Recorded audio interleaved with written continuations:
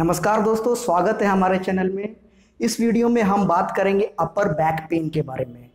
हमारे गर्दन के ठीक नीचे जो पीठ का जो एरिया होता है, हमारे दो शोल्डर ब्लेड के बीचों बीच उस एरिया को हम पीठ कहते हैं और अपर बैक कहते हैं इंग्लिश में, और उसमें ज़बरदस्त दर्द हो जाता है कभी कभार और दर्द इतना बढ़ जाता है कि वो चारों तरफ़ फैल जाता है। अगर मैं आपको बोलूँ कि वो पर्टिकुलर पॉइंट बताइए तो आप नहीं बता पाएँगे कहाँ पे वो दर्द हो रहा है। वो फैला हुआ दर्द सा रहता है।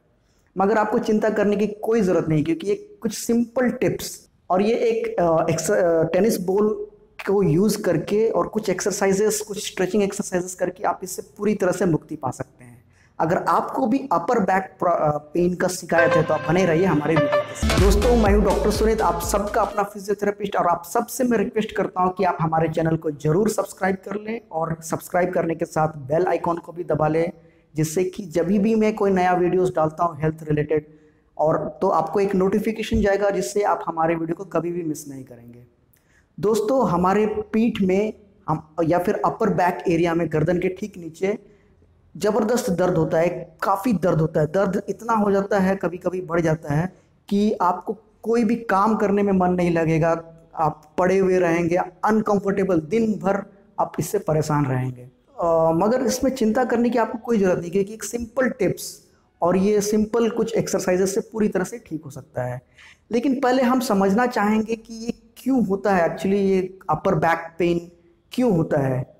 तो सबसे नंबर वन रीज़न इसका है रॉन्ग पोस्चर या फिर गलत तरीके से हम जब मोबाइल को आगे की तरफ़ झाँक के देखते हैं ऐसे करके गर्दन को झुका करके लगातार हम आजकल के यंग लोगों में तो एक बना हुआ है। यंग क्या, सारे बूढ़े लोग भी मैं देखता हूँ कि मोबाइल में इस तरह से ये, लोग यूँ लगे रहते हैं ऐसे ऐसे करके।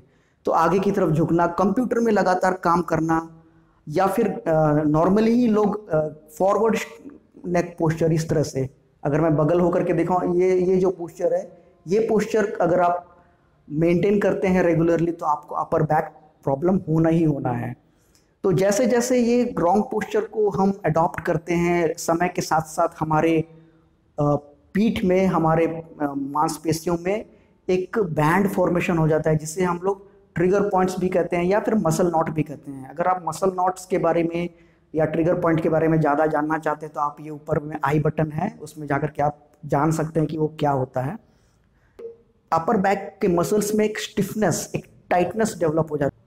और हमारे स्पाइन जो है, हमारी जो रीढ़ की हड्डियाँ हैं अपर बैक एरिया में थोड़ा थोरासिक एरिया में, वो भी स्टिफ हो जाता है। ये सब चीज़ का एक मिला जुला असर की वजह से एक भयंकर दर्द पैदा होता है। तो हम इससे कैसे निजात पाए? हम क्या करें कि इससे हम आप, आपको दर्द से मुक्ति मिलेगा? तो सबसे पहला टिप्स है स्ट्रेचिंग एक्सरसाइज आपको अपने शोल्डर ब्लेड के जो हम लोग इसको शोल्डर ब्लेड करते हैं पीछे की तरफ़, वो उसके आसपास जो मसल्स है, उसको स्ट्रेच करना है। तो सबसे पहले आप क्या करिए कि मान लीजिए आपको लेफ़्ट साइड स्ट्रेच करना है तो आप इस तरह से हाथ लीजिए और ये हाथ को इस तरह से लीजिए, कोहनी के पास रखिए लेफ़्ट हैंड के और फिर इसको खींचिए ऐसे करके। आपको एक पुल फील होगा आपको पीछे की तरफ़। इस तरह से खींच करके कम से कम एक मिनट, यानी कि 60 सेकंड्स तक इसको होल्ड करके रखें। फिर इसको रिलैक्स करें फिर उसी तरह से आप इस तरफ़ ऐसे करके और स्ट्रेच करें खींचे 60 मिनट्स तक 60 सेकंड्स तक होल्ड करके रखें।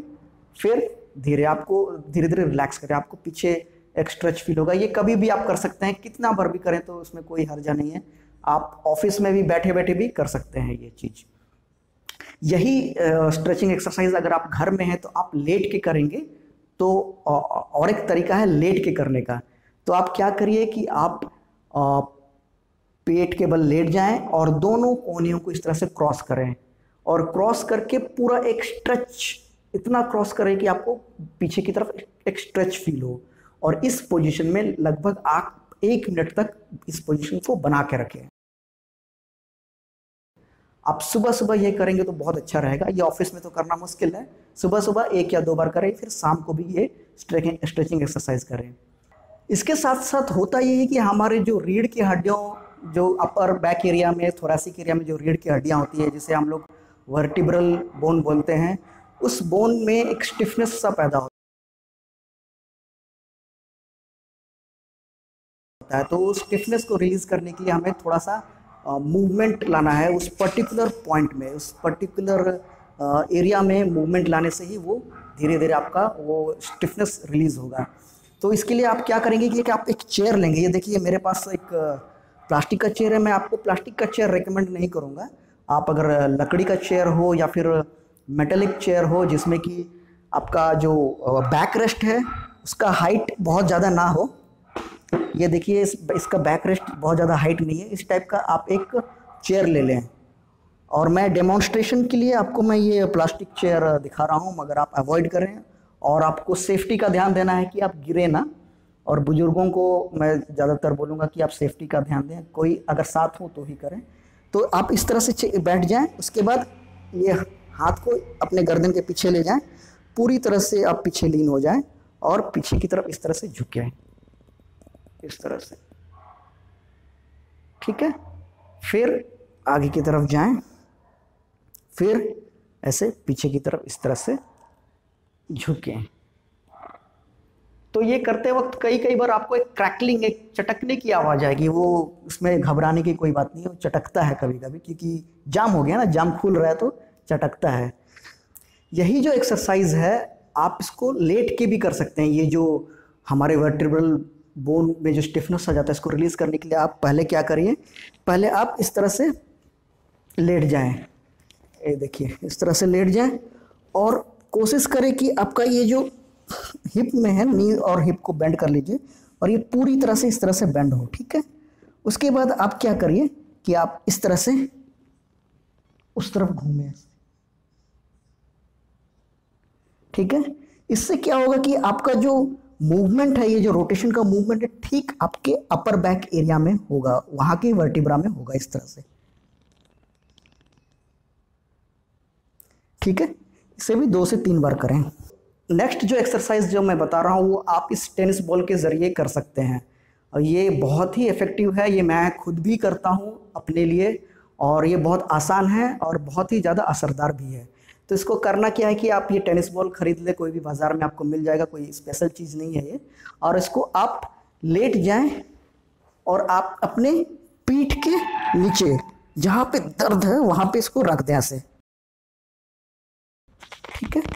उसके बाद ऐसे धीरे धीरे धीरे धीरे, ठीक है, जहाँ जहाँ दर्द है, वहाँ वहाँ ले जाएँ और इसको अच्छी तरह से रगड़ें। वो एक तरह से एक सेल्फ मसाज है ये, ठीक है? इस तरह से करें। बहुत ही रिलीफ होगा आपको, बहुत अच्छा लगेगा।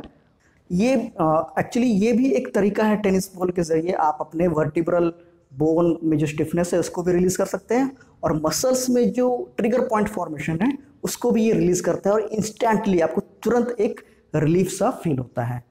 उसके बाद हमें अपने पोस्चर में भी ध्यान देना है। हमें हमेशा एक सही पोस्चर को अडॉप्ट करना है। अगर आपका फॉरवर्ड हेड पोस्चर पहले से बन गया है तो आप पहले से मैंने इसके ऊपर एक वीडियो यहाँ पे जाकर के बनाया है। आप जाकर के देख सकते हैं इसके जाकर के। और अगर आपको ये वीडियो पसंद आया है तो आप ज़रूर इसे लाइक करें शेयर करें अपने दोस्तों के साथ। और अगर आप हमारे चैनल में नए हैं तो इसे ज़रूर सब्सक्राइब कर लें। Thanks for watching friends bye